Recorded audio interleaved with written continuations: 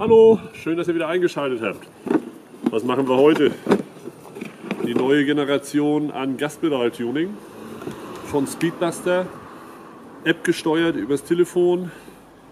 Ich fange einfach mal an mit dem Einbau und während des Einbaus erzähle ich euch mal ein bisschen was zu der Box, was für Vorteile sie hat über die App-Steuerung, was für Möglichkeiten wir haben. Und jetzt fangen wir mal mit dem Einbau an. Hier haben wir die Box ohne Verstellung drauf. Das heißt, wir können die nur übers Handy steuern, haben keine Möglichkeit dann manuell hier auch nochmal einzugreifen. Hier sind die beiden Stecker, die dann unten am Gaspedal angeschlossen werden. Das wird eingeschliffen. Dann können wir das Teil irgendwo in der Verkleidung schön verstecken. Das fand ich bei den anderen Boxen immer so ein bisschen blöd, dass du so einen Stecker irgendwo so hier daneben machen musstest oder ähnliches. Ich finde das mit der App-Steuerung doch wesentlich zeitgemäßer. Ähm, obwohl meine Jungs schon gesagt haben im Büro, der Sascha und der Sepper, die sagten, Mensch, wenn du das Handy dann mal nicht dabei hast, dann kannst du die Box ja im Endeffekt nicht steuern. Mal ehrlich, habt ihr euer Handy immer dabei? Liegt das zu Hause? Eigentlich haben wir es dabei und da sollte das hier kein Problem sein. So, jetzt fangen wir mal an mit dem Einbau. Da müssen wir unten, wird das direkt am Gaspedal angeschlossen, ist auch eine illustrierte Einbauanleitung haben wir dabei. Seht ihr hier? So, das heißt, der wird unten einfach an den Gaspodi, an das Kabel angeschlossen, was zum Gaspodi führt, zwischengeschliffen und ja, machen wir es mal rein. So, als erstes müssen wir hier unten die kleine Sicherung entfernen. Zapp. Damit wir da an den Stecker kommen, das legen wir mal hier hin. So. Jetzt haben wir da unten Torx, vorbereiteten Torx-Schlüssel schon hier, was wie ein Zufall. So, erstmal ausschrauben das Pedal.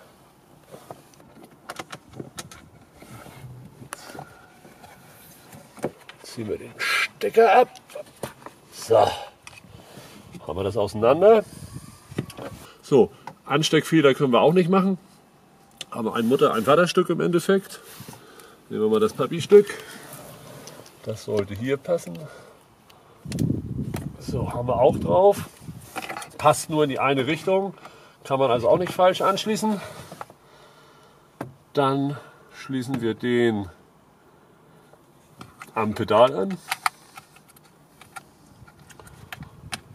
Passt nicht, andersrum. Passt. Doch, jetzt haben wir ihn so. So, Schraube.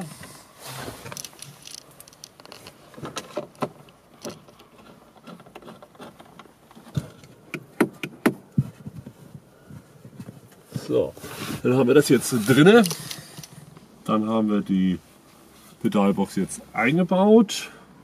Dann müssen wir hier nur noch mal gucken, wie wir das Kabel unter dem Teppich schön verstecken, weil wie gesagt, die Box brauchen wir nicht zur Bedienung. Da stellen wir gleich mal die Verbindung über Bluetooth her. So, also wir müssen die Zündung anmachen und dann kommen wir hier mit, können wir uns verifizieren, verbinden. Geben Sie das Passwort Ihrer Speedbox ein. Geben wir die mal ein. 1, 2, 3, 4, 5, 6. Verbinden starten Sie Ihr Fahrzeug. Also wir machen dann doch mal Auto starten. Ah, Schein habe ich, oder? So, jetzt haben wir es mal eingestellt bekommen und dann sieht das wie feucht auf dem Handy aus. Und der Protect-Modus ist sehr interessant, weil wenn wir den Protect-Modus eingeschaltet haben, dann ist unser Auto praktisch, nimmt es kein Gas mehr an.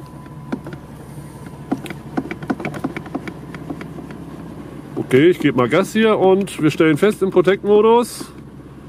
Hier haben wir das. Protect-Modus. Kein Gas.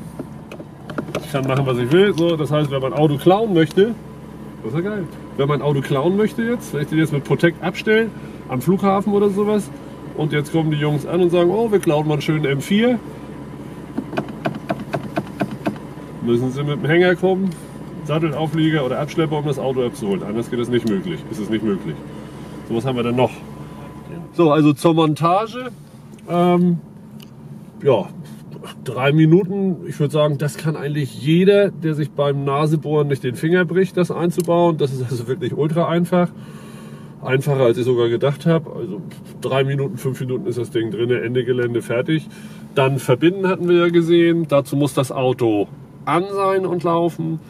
Das Bluetooth muss im Handy an sein und die Standorterkennung muss an sein. So, dann kommen wir in den Modus, dass wir praktisch hier die Pedalbox haben. Dann haben wir die einzelnen äh, Modi, Eco, Sport. Eco wird der Bereich sein, äh, wo wir eine softe Gasannahme haben, alles weich haben. Sport äh, wird die Anlage sein, wo er sagt, Vollgas, zack, voraus. Individual, das ist natürlich sehr interessant, hochinteressant. Ich zeige euch das mal. Da können wir das einstellen. So, da haben wir praktisch hier 100% Leistung über die, über die Einstellung. Und ich kann jetzt sagen, ich will das Gaspedal untenrum noch ein bisschen weicher haben. So, ziehen wir es noch mal ein bisschen runter, dass ich dann die PS jetzt hier auch im M unten ganz weich habe und dann ab zwei Drittel, da wird er dann aggressiv nach oben gehen. So, das probieren wir gleich mal aus. Wir speichern den schon mal vor den Modus. Modus 1, das heißt, ich kann mehrere Modis sogar hinterlegen. Finde ich sehr interessant. Da kann man über Schnellsteuerung das eventuell dann dementsprechend anpassen. Das heißt, 1 ist jetzt für extrem schnelles Fahren, 2 kann ich mir ein bisschen für nasse Straße abstimmen, 3 für Schnee. Valid.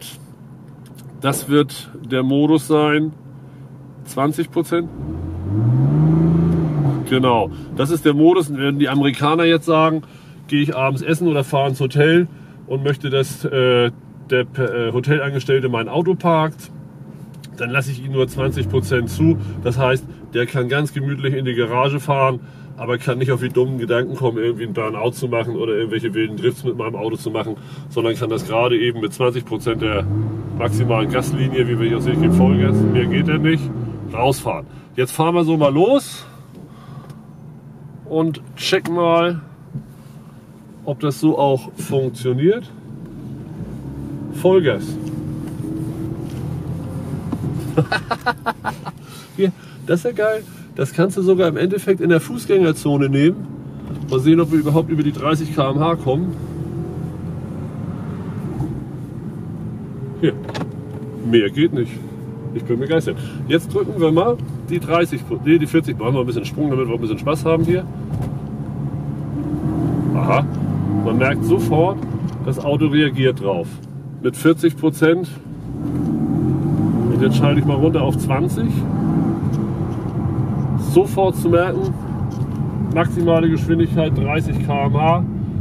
Es funktioniert tadellos und ich brauche jetzt kein Gas mehr übers Pedal geben. Ich gebe jetzt einfach hier, komm, ein bisschen schneller klasse. Also das finde ich wirklich klasse. Okay, haben wir das einmal durchprobiert. Den Protect-Modus ist jetzt mal die Frage, kommt der im, wenn ich ihn jetzt aktiv schalte, kommt er während der Fahrt? Ja. Selbst während der Fahrt kann ich das Auto auf Protect schalten, hier Vollgas und wir kommen zum Stillstand. Jetzt gucken wir mal in den Kids-Modus.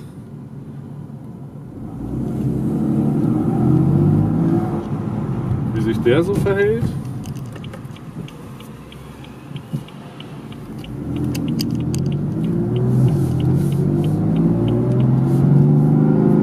Auto fährt ganz normal, beschleunigt aber wirklich extrem langsam. Wir werden das gleich mal an der Ampel machen.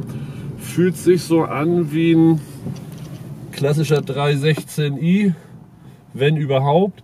Das heißt also, wenn du die Frau ärgern willst oder deinen Sohn fahren lassen willst oder wen du auch immer bestrafen willst, äh, Kids Aktivmodus und wir beschleunigen jetzt mal, gucken mal wie das abgeht hier. Ja, sehr gemütlich. Auto beschleunigt auch immer weiter, aber von der Leistung her gibt er nur also nicht was, 50, 60 PS frei, würde ich gefühlt sagen. Mehr ist das auf keinen Fall. So. Von euch fragen sich sowieso wahrscheinlich, warum der das in M4 einbraucht, das ein M4. Also eine schärfere Gaskennlinie denke ich mal nicht. Ja, aber äh, was natürlich interessant ist, dass man diesen Sicherheitsmodus drin hat. Für Leute, die jetzt nicht so erfahren sind, kann ich das ein bisschen runterschrauben. Äh, die Leistung kann mir die, und was ich besonders interessant finde, ist der Individualmodus hier nochmal. Da müssen wir nochmal rein. So, wir wollen nur zeigen, was möglich ist. Äh, so wirst du wahrscheinlich nie fahren, weil ich bin jetzt wirklich mal gespannt. Äh, das heißt, wir fangen jetzt mit 76% Gas bei 10% Gaspedalweg an. Ich bin jetzt selber mal gespannt, wie sich das fährt, oder? Also, keiner wird sein Auto so abstimmen. Never ever, ja. Aber jetzt einfach mal zum Testen, um mal zu sehen, was für Möglichkeiten wir haben. Ich gebe mal so 10% Gas, gar nichts. Oh. und, dann, fährt er wirklich hier mit ganz wenig Gas, so gut wie gar nichts. Und im hinteren Bereich. So, jetzt fahren wir im, im Eco-Modus. Boah, hier mit den ganzen Händen. Gibt so einen coolen Halter übrigens auch für hier. Ähm, Habe ich jetzt vergessen äh, der hier drauf geklebt wird. Dann kannst du den mit so einem Kreuz hier zum Beispiel einstecken und klebst es dann mit, äh, mit Hilfe eines Magnetes dann so fest und kannst das dann rein theoretisch immer bedienen. Nice to have. Ich habe es natürlich jetzt vergessen mitzunehmen, deswegen muss ich das Handy in meiner Hand halten. So, ja, hatte ich schon gesagt. Äh, eintragungsfrei die Box, weil wir steigern ja nicht die Leistung, wir verändern nur die Gaspedallinie. Das heißt, wir haben nicht ein einziges PS mehr, bloß alle PS halt im Sportmodus schnell versammelt oder im Eco-Modus kommen sie alle langsam angaloppiert und tragen dich dann langsam fort.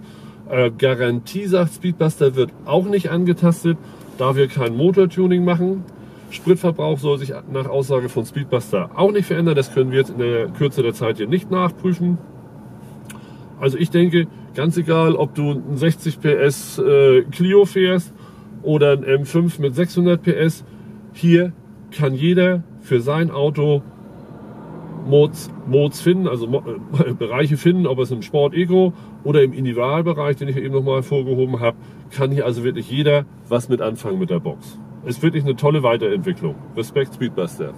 Wir haben dann hier noch oben die Menübox. Da können wir die Verbindungen trennen, dann sind wir wieder im normalen Bereich. Passwort ändern. So, da haben wir einen Shop. Wichtig ist dieser Kontaktbutton. Ähm, Dort können wir jetzt eine E-Mail oder äh, was auch immer hinschicken an äh, Speedbuster, wenn wir Fragen haben. Speedbuster hat eine eigene Support-Hotline, wo euch der Hersteller bei technischen Fragen sofort unterstützen kann. Ja. Also von mir aus kriegt Daumen hoch, Top-Empfehlung. So, äh, oben haben wir natürlich auch noch, habe ich ganz vergessen zu erzählen, den Knopf On and Off. Das heißt, wenn wir hier jetzt drauf drücken, Zack. Alles im normalen Bereich, alles wieder original, trotzdem, äh, trotz der Box drinne. Das heißt, es läuft jetzt wieder den serienmäßigen Kennfehler hinter dran. Und eins wollte ich natürlich noch sagen, findet ihr natürlich äh, die Pedalbox beim Sydney auf der Seite im Performance Shop. Kommt sie demnächst rein. Ich weiß nicht, ob sie jetzt schon drin ist, wenn das Video ausgestrahlt wird. Kommt aber um, um unmittelbarer Zeit also auch rein. Habt ihr Fragen, wollt ihr sie bestellen? Offizieller Verkaufspreis ist 229 Euro. Wir werden ein kleines Einführungsangebot machen, äh, wenn ihr uns anruft oder über Facebook eine Nachricht hinterlasst, dass wir euch die Box mit einem kleinen Rabatt noch vergeben und ihr kriegt von uns die ersten 100 Bestellungen den Halter für die Lüftungsdüsen, den Magnethalter gratis dazu. Danke fürs Zuschauen. Bis nächste Woche. Ciao.